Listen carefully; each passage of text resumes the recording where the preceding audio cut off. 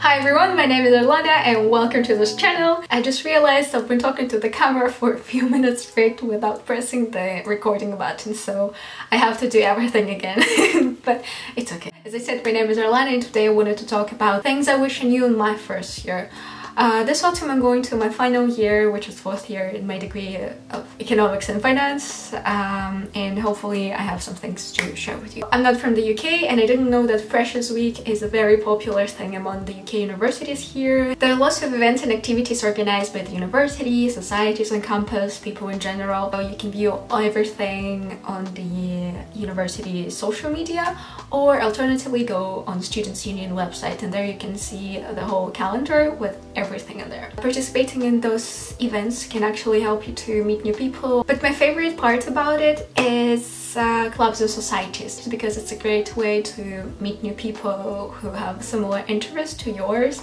So every society has a special event called Give It a Go. So it's an event where you can attend and get to know the society, people, what are they doing, what are their plans for this year. Many people like to joke that uh, on first year they just paid for all the societies they saw on the Students' Union website and never attended them. Unfortunately, it was my case as well.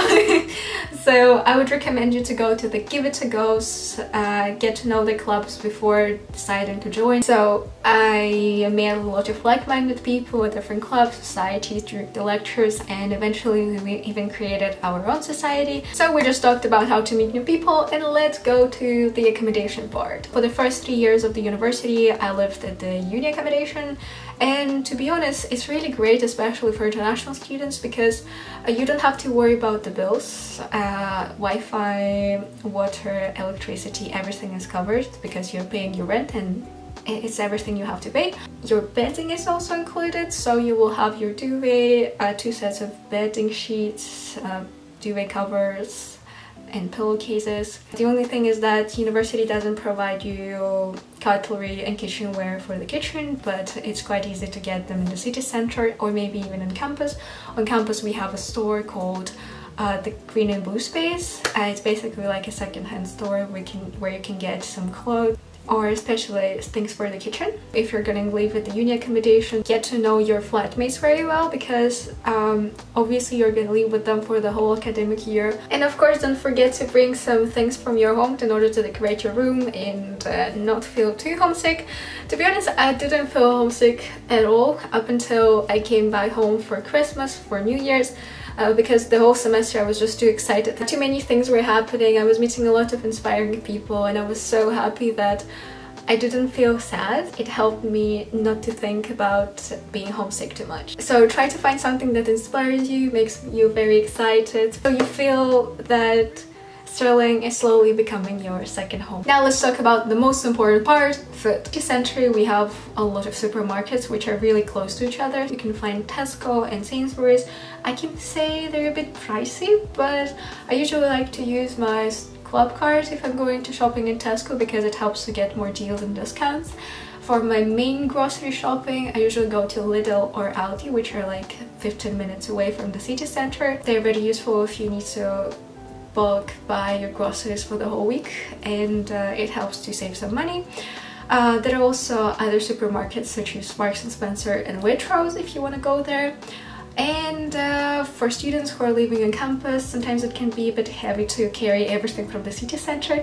So a lot of students prefer to get a delivery. Delivery it's pretty much any supermarket but one of the most popular was Asda because it's quite cheap and the delivery costs around two or three pounds which is the cost of your bus ticket. Really, there is a small co-op supermarket on campus. Next step is setting up your bank account and in the city center you can find uh, different types of banks. Uh, you can choose whatever you want and they all offer student accounts. I just know that uh, if you open a student account at the Santander Bank you can also get a free rail card which is really useful if you're planning to travel around the UK. It just helps to get one third of your train ticket. Everything I say is relevant to this time right now, August 2021, so make sure to check everything again, but yeah. Some banks can actually give some nice deals if you open accounts with them. If you're an international student, please don't forget about police registration and collecting your BRP card.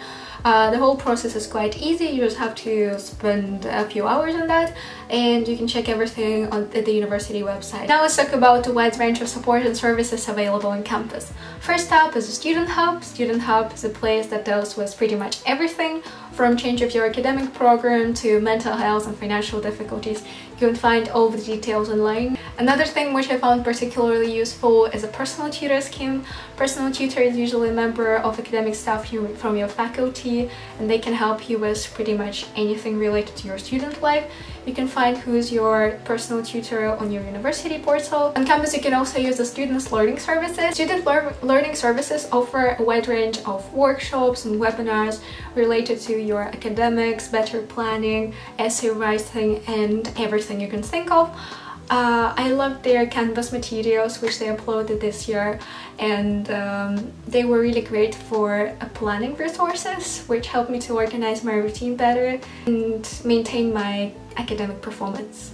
And finally, one of my favorite services is a career office at the university and uh, I can make a whole separate video about it. but basically they help you with workshops and individual meetings for CV writing, cover letter writing, developing skills, finding opportunities and preparing for the interviews. Thank you so much for watching this video. That's it for today. But if you have any more questions left, please leave them in the comments below and I would be really happy to help you with any questions you have.